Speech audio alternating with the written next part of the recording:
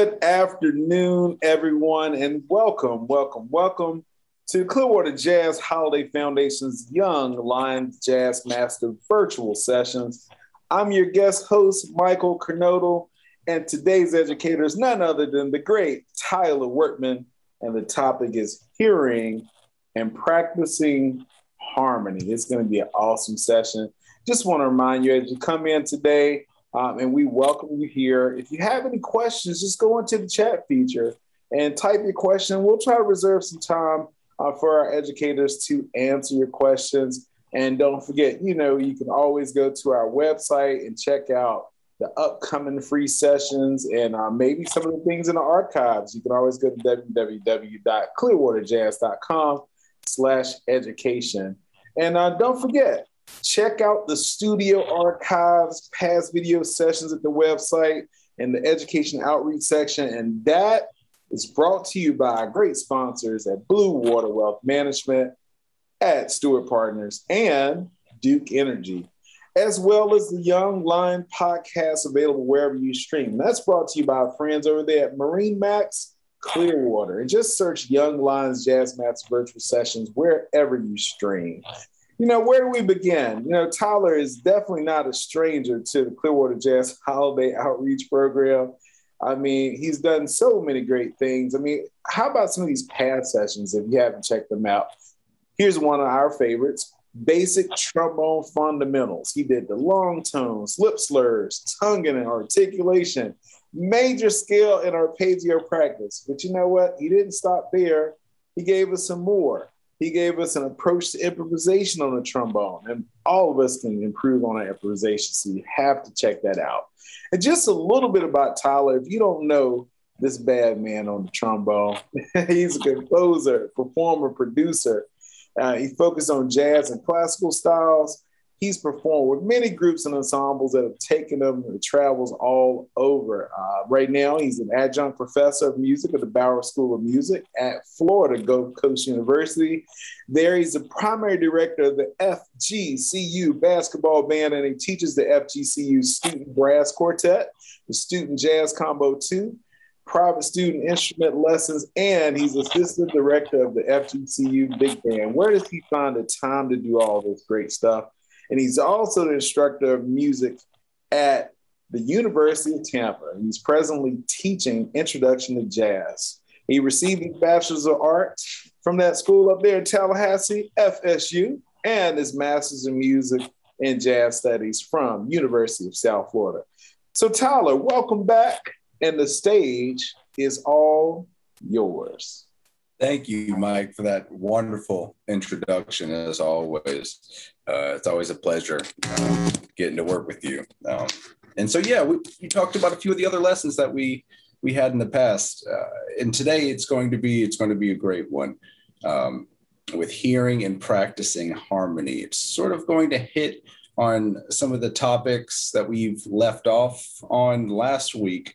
Um, as well as we're going to be mentioning some things for our upcoming uh, lessons here, uh, which are how to uh, develop uh, and understand your own practice routine, uh, as well as how to approach big band uh, music in a section as a brass and or woodwind instrumentalist.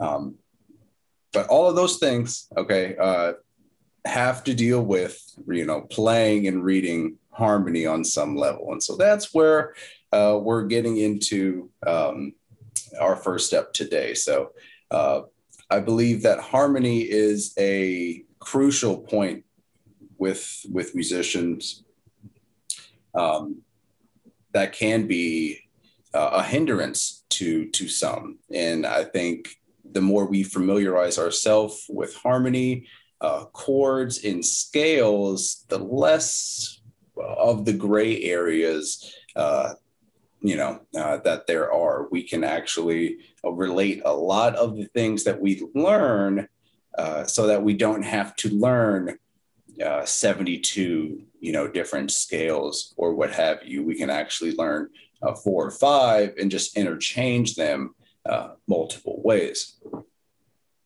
And so today we're going to start off with understanding major, uh, a major chord, a major scale. Okay. Um, and some of you might already know what this uh, entails, what this sounds like. Um, but for for others, I believe it's important to really go through uh, the different points of, uh, for instance, the modes generated uh, from our major scale, right? Um, as we understand, major and minor has its own connotations, uh, but major relates to uh, if you had to put an emotion uh, behind the sound, it, w- it, would be a more happy chord. Okay, uh, something like uh, this sound here. Very bright, uh, very happy, uh, not too dark. Let's try another key here with the piano sound.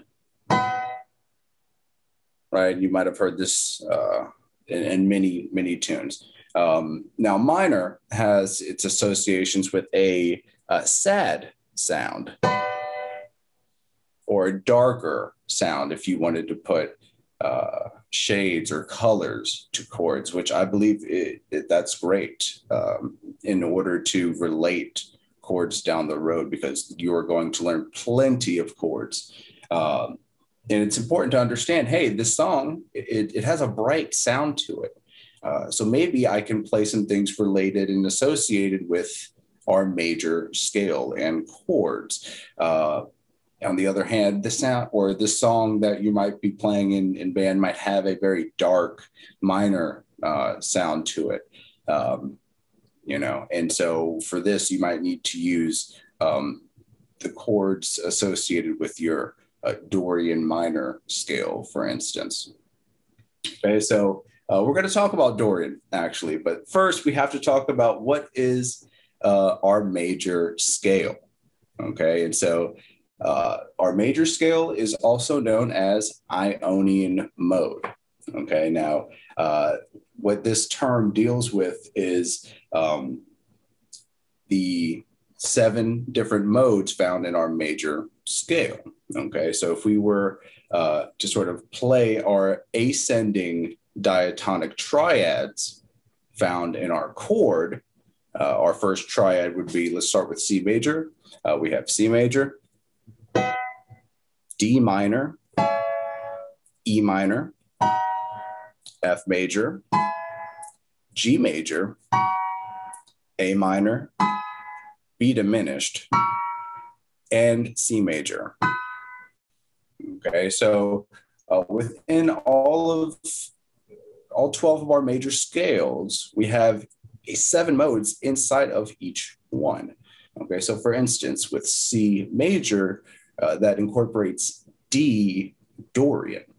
Okay, it also incorporates G Mixolydian. Okay, uh, now uh, there's different sayings uh, to associate yourselves uh, with the different modes. Uh, I, I, forgot uh, multiple of them, but our modes are Ionian, Dorian, Phrygian, Lydian, Mixolydian, Aeolian, and Locrian. Okay. Um, and it's important to really associate a sound with these uh, these names. Okay, so Mixolydian, uh, we talked about it. That's G uh, in our C major scale. Now, Mixolydian is the fifth uh, chord found in our scale. Now, it's important uh, to always know what your fifth is in improvisation uh, because generally that is the chord that is going to set up the, the, the preceding chord after it most of the time, not all of the time.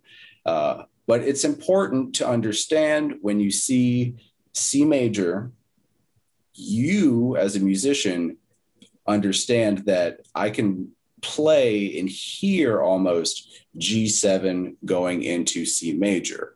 Uh, the sound here, resolving to. Okay, and again, that is as basic uh, as I can describe it here. But if you were on uh, trombone, practicing maybe that same voicing you could play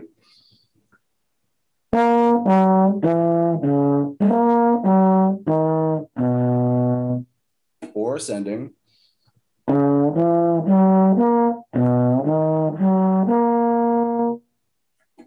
And you you will understand that yes, some notes do change, right, in our chord, um, but we have notes that stay the same that are found in both uh, G7 and C major. Okay, and I'm talking about notes found in our seventh chord.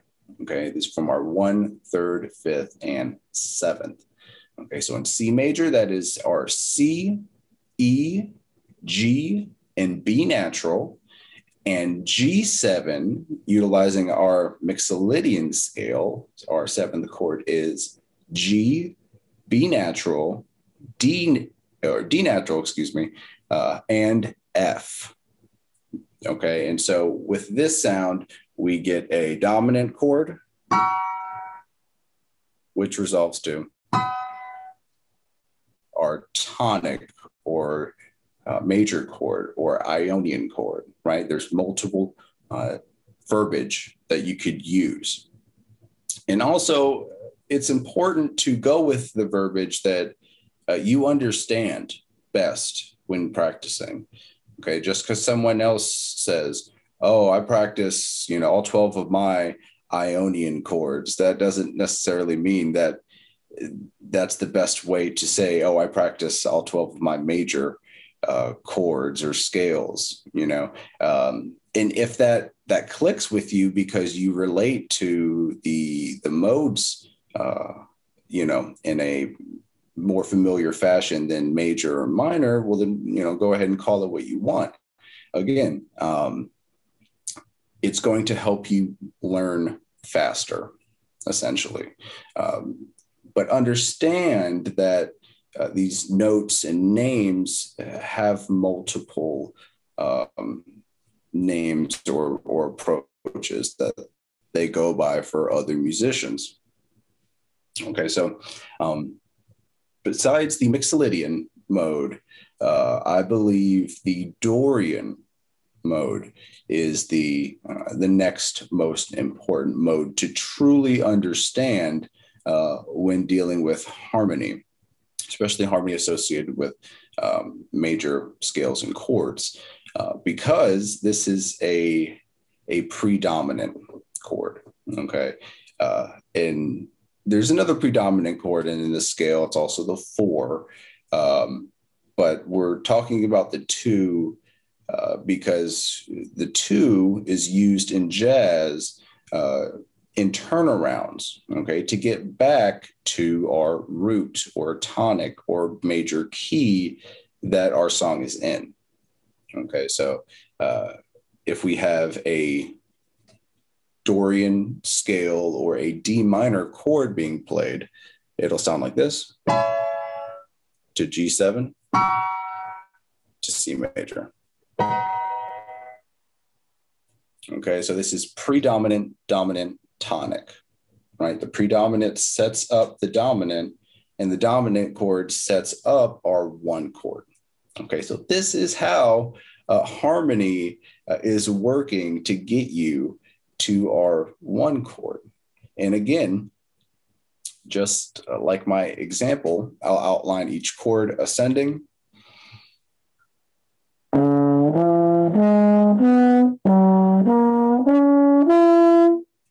That was D minor and G7.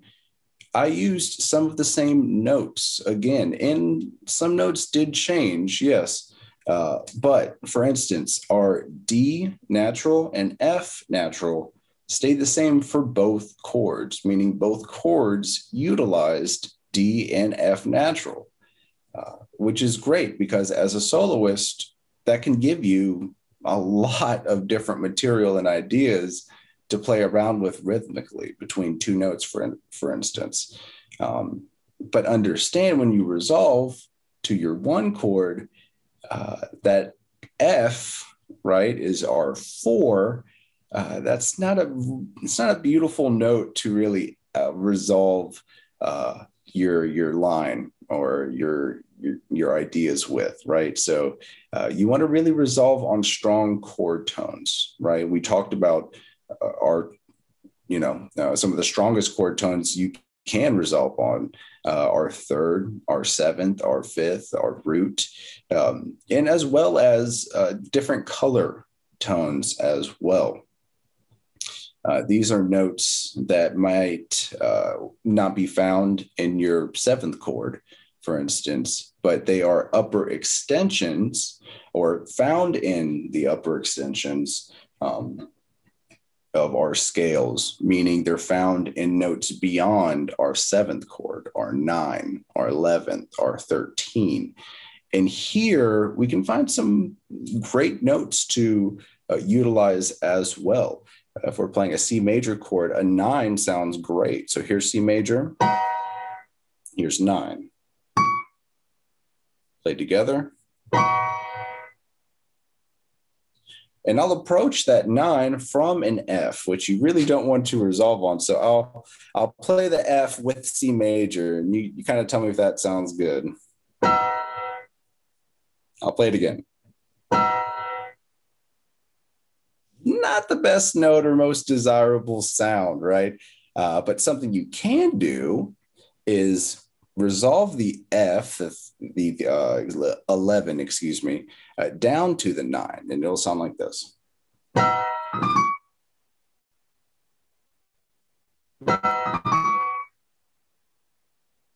Right? Or resolve up. Or enclose the third. And that's something a lot of guys do. It's called chromatic enclosures, right? Um, and again, this is a more so of a scale pattern, uh, but this is perfect because we're talking about scales and chords right now. Um, and so, again, Ionian, Dorian, Mixolydian are definitely the most important three to truly understand before moving on. And I can't stress that enough, guys. If you don't, uh, you know, understand your predominant and dominance to every chord, and you're not able to play them, uh, for instance, we've been in C, uh, C major. So if I were to play my chord practice uh, ascending, it might sound like this.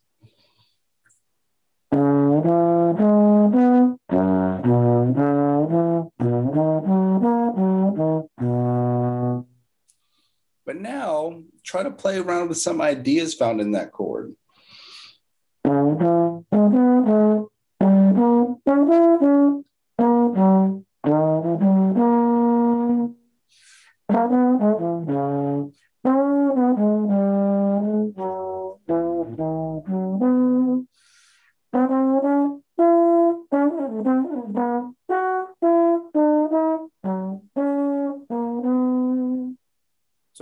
Last example, I played a, a chromatic enclosure. And that's the same thing as that four, uh, going a half step below R3, and then going back to R3. And hopefully, uh, you were able to hear that chord movement with my soloing um, because I was utilizing notes found in our chords that well I was playing right um, D minor, G7, C major.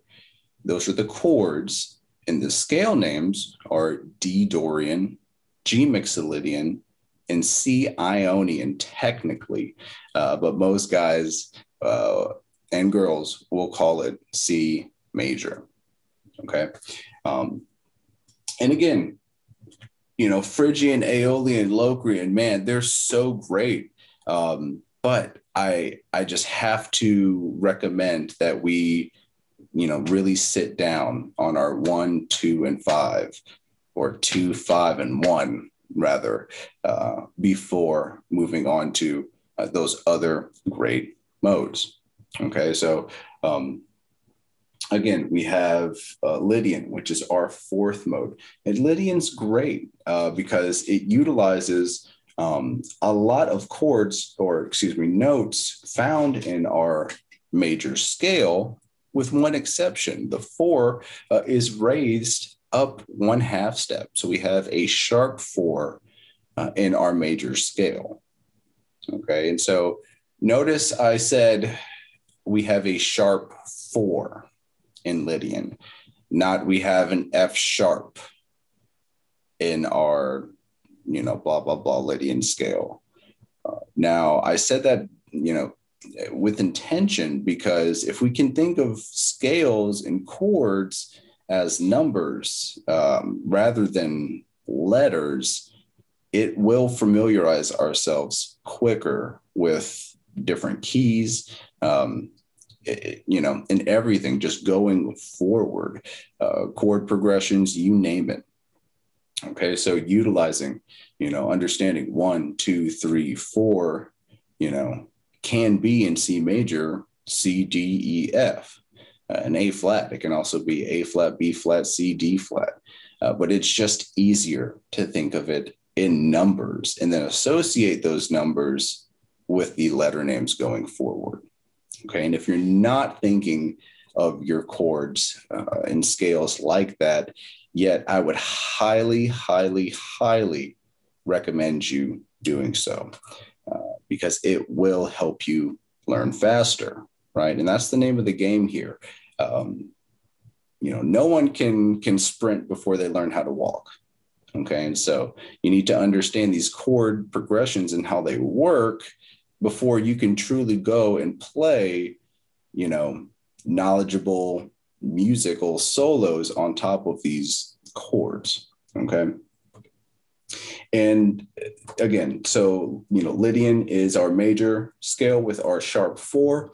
Um, and you will see this when uh, we have a sharp 11 chord located in our harmony. Okay. And you might see this in some of your uh, jazz band tunes. Again, uh, the sharp 11 is found where? Below or above our seventh? Above, right? So this means it's an upper extension uh, of our harmony. Okay, so uh, one way to utilize uh, this sound is by playing a dominant seven sharp 11 chord.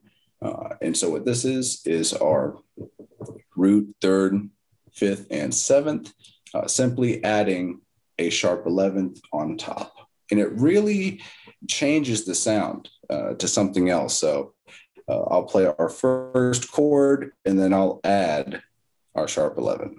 Okay, so our first chord is C7. It sounds like this. Play it again with our sharp 11.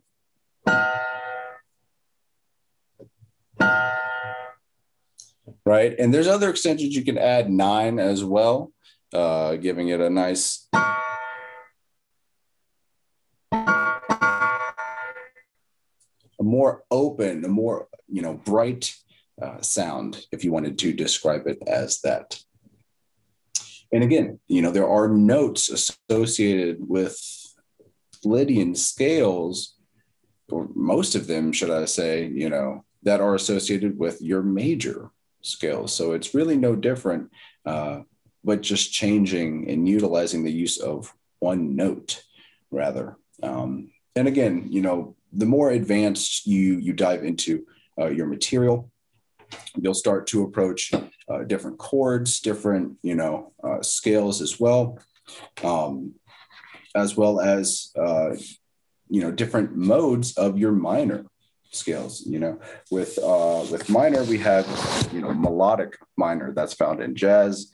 Um, and I'm not going to go into melodic minor yet, uh, but just understand these modes are completely different uh, than our modes found in our major scale. Okay. Uh, and there's more of them. Okay. So we have very complicated uh, you know, Lydian augmented modes, uh, which is simply a Lydian scale with a sharp five. Okay. And so this is your third mode, for instance. Uh, and so there's a whole, you know, another bag of worms to open up and understand here as a musician. So uh, there's always material to practice uh, for me, not only on the horn or on the piano or keyboard, uh, for instance. And no, you don't have to go out and have a very expensive keyboard, guys. Um, you know, one of these guys here uh, can can get the job done on on some level. Okay, um, and for me, it's all about understanding different sounds, relating those to different chords uh, and scales that you've practiced or might not have practiced yet, uh, because we simply have not approached them yet in that light and sat down with them uh, so we can truly understand them as instrumentalists. Now, Mike, I know I, I, went over a lot over there, but are there any questions? You know what? I'm glad you mentioned the piano and really, you know, digging down into knowing those scales. I would say me uh, playing the piano. It, but I don't know if you do this, but we'll keep on going. Um, and so I talked about the Lydian augmented scale. Okay. Um, now, again, uh, this incorporates our sharp four with a sharp five now, okay, giving us a very different sound from major, uh, something like this.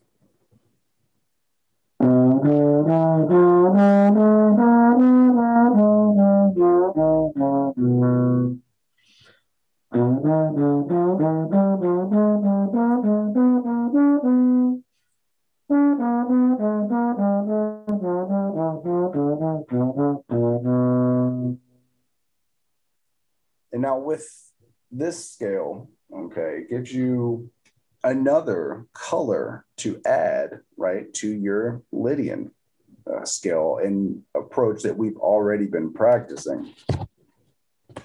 But understand this is our third mode of melodic minor, okay? Um, completely different than Dorian, okay, than what, what we've been talking about. Um, and this is more advanced, like I was saying. So don't uh, feel overwhelmed because you might not have ever heard of uh, Lydian augmented or, you know, uh, Locrian sharp two or all, you know, some of these other scale names that are found in all of these uh, different modes of, of different scales, for instance. Um, Mr. Mike, are you there? Yes. Can you hear me? Hello, check one, two. Check one, two. Can you hear me? Hello. Can you hear me? Hello. Can you hear me now? Yes, I do now. I'm sorry. okay. All right. I was making sure. I don't think you can hear me. So I was saying earlier, um, about the piano, I'm glad you mentioned that. Uh, that was one of the tools I used. And I'm not sure if you're like this, but uh, it's a visual thing for me too with the piano. I could see the notes and the chords and how I move on the piano as I'm playing my horn. Um, I love that you mentioned that. And that was one of the best tools I've ever used with all these modes, except hearing, of course, like you said, hearing so very important. But just me thinking about the C chord or, you know, a C7, I could see it in my head as I'm playing to go with that piano. So I know all my piano players that play other instruments. You're probably right there with me. But yeah, thank you for that. Yeah, no, I mean, and that's what it's there for. Because as horn players, you know, as a trumpeter, as a trombone player, uh, we can't play, you know, five notes at once. But on the piano, it's very accessible and very easy uh, to hear those notes played together, which then uh, we can see, right? Because we're then playing it, uh, we're hearing that color of harmony uh, and then we can practice it ascending, descending in thirds, you know, different groupings here to, you know, work on solo material of said chord, for instance. Absolutely. Absolutely. Well, this has been an awesome session. And, you know, I really like the fact that we record these because you can always go back, pull out your horn, pull out your instrument, whatever it may be, and just practice along with what Professor Tyler has told us. You know, hit pause, play, take your notes. And not only that, maybe you have someone in your band, in your class, uh, that could really benefit from the stuff uh, that Professor Tyler has said today. You know what? I'm glad you thought about that. And because you thought about that, I want to let you know you could go to our website, www.clearwaterjazz.com slash education, and you can check out more sessions, not just from Professor Tyler, but there's a, a wide array of educators that have left great knowledge that will help you progress as a musician. And you know what? We love to hear your feedback. So maybe you know you have a, a, a future topic you want to suggest, something that you want to work more on. We would love to hear from you. And where can you send that email? I'm glad you asked. Info at clearwaterjazz.com. And we would love to hear from you. Thank you, Professor Tyler. We enjoyed this session today. And uh, we're going to all go home and practice the things you've given us. And hopefully, it's going to help us in our next voyage of improvisation. We hope to see you out there on the big stages. And everybody, we hope to see you on our next one. And until then, keep it swinging. We'll see you then.